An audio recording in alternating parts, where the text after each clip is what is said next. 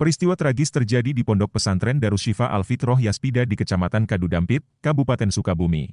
Empat santri tewas akibat tertimpa dinding kolam pondok pesantren pada Rabu malam, 13 November 2024, sekitar pukul 22 WIB. Sementara lima santri lainnya dilaporkan mengalami luka-luka. Kasubsi Pengelola Informasi Dokumentasi dan Multimedia, PIDM, Polres Sukabumi Kota Ibda Aderuli Bahtiarudin membenarkan kejadian tersebut. Betul, semalam di area Ponpes wilayah Jalan Parungseah, Desa Cipetir Kecamatan Kadudampit Kabupaten Sukabumi, telah terjadi musibah tertimpa dinding tembok kolam, yang mengakibatkan empat orang meninggal dunia dan lima orang luka-luka. Ujarnya kepada pers, Kamis 14 November 2024. Empat santri tewas adalah MF, MDA, MAR, dan MERA. Adapun lima santri yang terluka masing-masing berinisial AN, AD, WA, N, dan NA.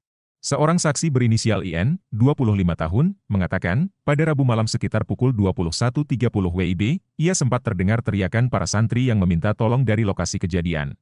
Pria 25 tahun itu, yang merupakan penjaga kandang sapi di sekitar pondok pesantren, lalu menghubungi rekannya dan warga untuk memberi pertolongan kepada para santri. Para korban kemudian dievakuasi ke RS Setuk Papolri Kota Sukabumi.